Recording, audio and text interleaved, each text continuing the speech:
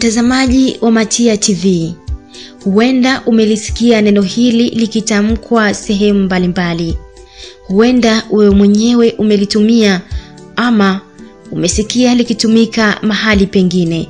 Siku ya Jumatano ya Majivu ni siku ambayo waumini wa Kikristu duniani kote wanashiriki kwa pamoja kupakwa majivu katika paji la uso, ikiwa ni ishara kwamba wanatubu na kuiamini Injili kuanza rasmi mfungo wa Kwaresma.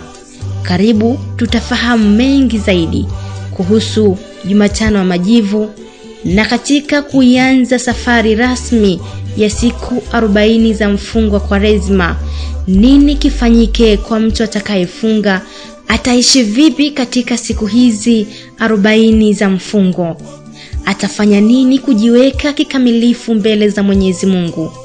Karibu ungane nami msimulizi wako kwa siku hii ya leo, Yasinta mwana wa Lisu, kupata na kuelewa kuhusu mfungo wa Kwaresma kwa Wakristo wa Katoliki na nini hasa siku ya Jumatano ya Majivu. Karibu ni kusihi uandamane nami mwanzo mpaka tamati.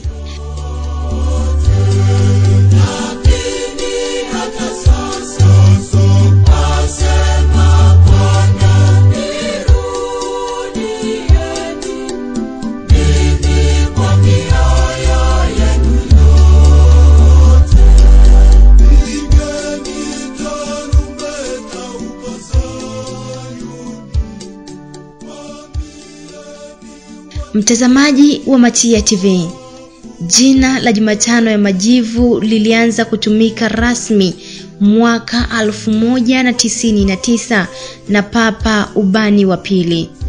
Mwanzoni liliitwa mwanzo wa mfungo, yaani majivu yatumikayo kutokana na matawi yaliyobarikiwa Jumapili ya matawi ya mwaka uliopita. Kwaresma ni kipindi cha siku arobaini na wengi hujiuliza Kwaresma ni nini? Kwaresma ni kipindi cha siku arobaini za kufunga, kusali, kutafakari neno la Mungu na kufanya matendo ya huruma. Ni wakati wa kumwilisha utamaduni wa Injili ya upendo.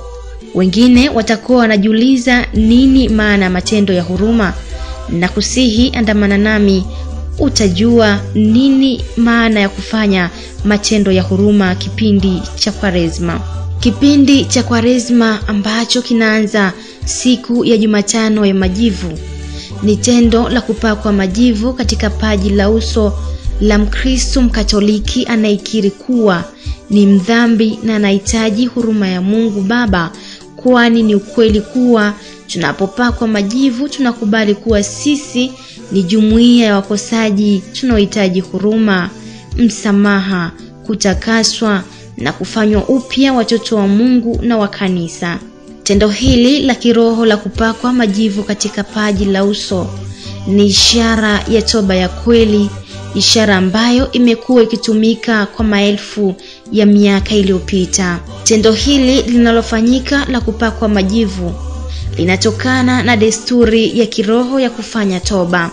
Katika ulimwengu wa Wayahudi, majivu yalikuwa ni alama ya huzuni, masumbuko, uchungu na uduni. Baadaye utamaduni huu wa kupakana majivu ulitumiwa na Wakristo wa kwanza kama alama ya toba. Miaka ya themanini, baadhi ya makanisa yaliadhimisha ibada Jumatano ya Majivu kwa ajili ya wadhambi waliokubuhu katika dhambi na wanaojulikana. Na sasa pale ambapo waliamua kufanya toba ndipo walipakwa majivu. Hivyo wakati huo si wote walipakwa majivu, ila wale waliokuwa wadhambi waliojulikana wazi kama vile malaya, wauaji, waasi na kadhalika. Kuanzia karne ya kumi na moja kanisa lilipanua ibada hii na kuwahusisha waamini wake wote na si wa dhambi waliokubuhu tu. Mwenyezi Mungu kwa kinywa cha nabii Yoeli anatuita tumrudie yeye kwa mioyo yetu yote, kwa kufunga na kwa kulia na kwa kuomboleza.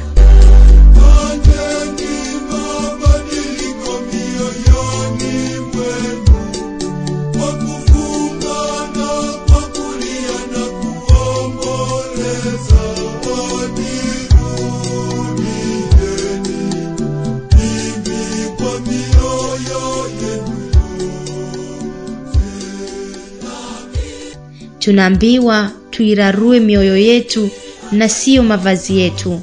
Katika siku za Agano la Kale, watu walikuwa na desturi ya kurarua mavazi yao kama ishara ya kufanya toba. Hata hivyo, walikwepo wengine waliokuwa wakiyararua mavazi yao kama ishara ya nje tu, na kumbe ndani ya mioyo yao hawakuwa na nia ya kufanya toba ya kweli. Mioyo yao ya jiwe haikuweza kubadilika.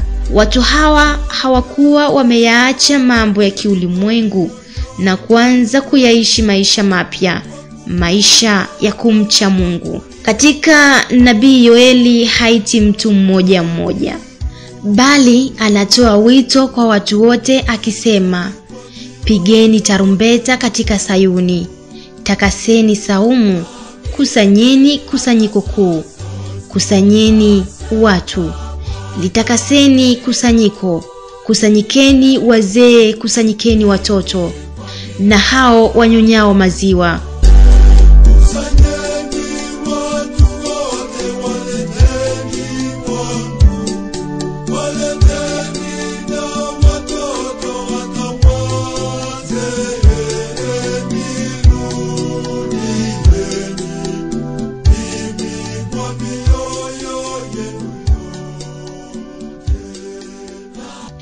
Hiyo ni katika nabii Yoeli aya ya pili mstari ule wa kumi na tano.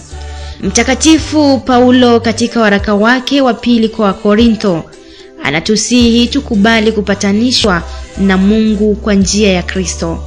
Mungu Baba alimtuma mwanaye wa pekee Yesu Kristo aje kutukomboa kwa kuteswa na hata kufa msalabani.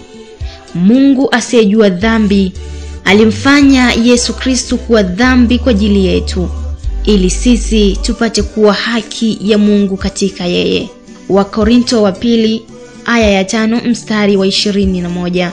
Wakati wa Kristu wanajiandaa kiroho kuanza mfungo wa mwezi mtakatifu wa Kwaresma kama Yesu Kristu ambaye alifunga chakula kwa siku arobaini akaona njaa, lakini mfungo huu ulimpatia nguvu ya kuanza utume wake pamoja na magumu yaliyomkabili. Matumaini ya mfungo wetu hayana budi kujengeka katika njaa na kiu ya muungano na Mungu wetu mtakatifu sana. Muungano huu unawezekana tukiwafungulia mlango wenzetu, hasa wahitaji, na kuwapatia yale tutakayojinyima. Nini cha kufanya katika mwezi mtukufu wa Kwaresma kwa Mkristu Mkatoliki aliyeweka nia ya kufunga, kujinyima kusali, kujitoa sadaka kwa ajili ya watu wengine. Ndipo tunakumbushwa mfano Msamaria mwema aliyejitolea kumsaidia mhitaji bila ya kuangalia tofauti zao. Mfungo unaoambatana na huduma kwa wahitaji ni njia ya kushinda tofauti zetu na vishawishi vinavyoambatana na tofauti hizo. Kwa hiyo tunaalikwa katika kila hali tulionayo kushiriki mfungo huu wa Kwaresima kwa malengo zaidi ya maisha yetu ya kiroho. Tutofautishe kipindi hiki na mazoea tuliyojijengea ya kujikatalia chakula, pengine kwa sababu tu za kibinafsi. Mfungo wetu hauna budi kuambatana na majitoleo mbalimbali, yaani sadaka na huduma kwa wahitaji. Zaidi sana, wakati huu wa Kwaresma ni wakati wa kutubu na kuiamini Injili. Na je, unaweza kufunga kwa namna gani? Tendo la kufunga chakula lisiwe na mwelekeo zaidi wa Mafarisayo ambao walitekeleza mfungo kwa kutimiza sheria tu bila uhusiano wote na maisha yao ya kiroho, tena roho zao zikiwa mbali na Mwenyezi Mungu. Tumwombe Mungu ili kwa neema zake mfungo wetu uweze kutusaidia zaidi kushindana na kila hali inayotuzuia kutekeleza mapenzi yake. Hali kadhalika mfungo huu tunaofanya uweze kuwa ni sehemu ya toba ambayo itatusaidia kuushinda ubinafsi wetu. Hatua za kuchukua ili tuweze kufanya vyema mapinduzi ya kiroho, toba na kubadilika.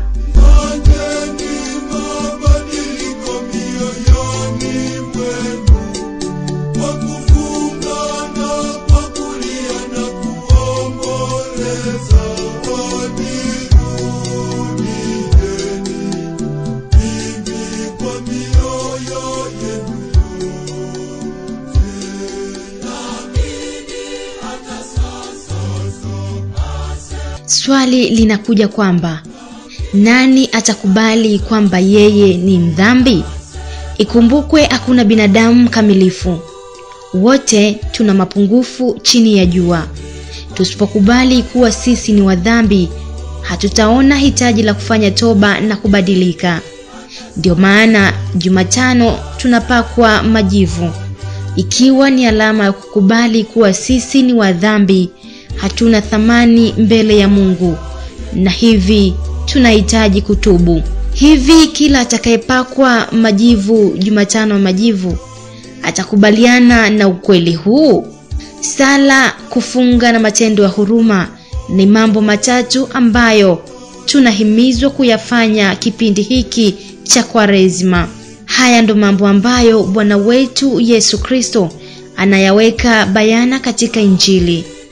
Yesu anatuangalisha kuwa ili tuweze kufaidika kutokana na sala, matendo yetu ya huruma na kufunga kwetu, tuondokane na unafiki.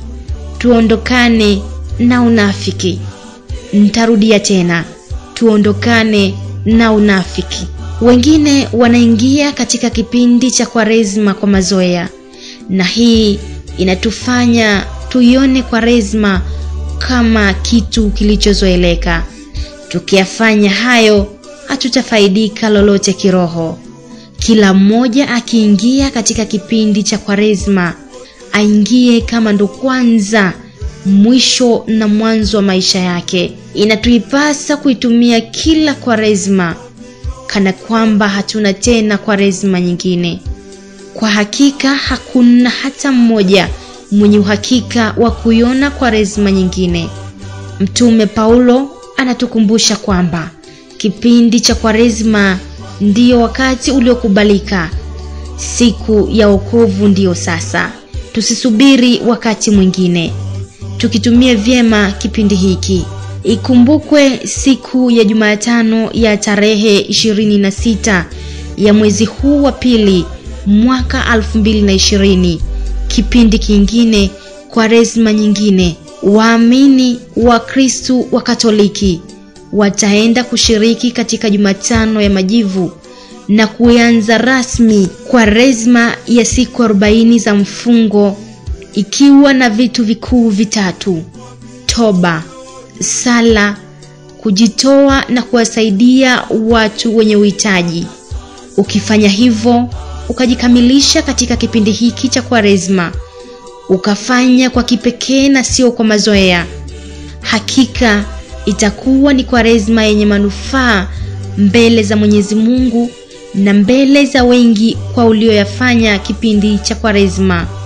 Naamini waamini wote wa Kristo wa Katoliki watakoenda kuanza mwezi mtakatifu wa Kwaresma siku ya Jumatano ya tarehe ya mwezi huu wa pili mwaka elfu mbili na ishirini wataenda kujikubali kwamba wao ni wakosefu, wanahitaji toba, watajinyenyekeza mbele ya Mwenyezi Mungu, watafuata yale ambayo Yesu Kristu mwana wa pekee anataka tuyafanye ama kuyafanya kipindi cha mwezi mtukufu wa Kwaresma. Nami nawatakia wote mwanzo mwema wa kipindi cha Kwaresma. Tumsifu Yesu Kristo. Mimi ni Yasinta Lisu.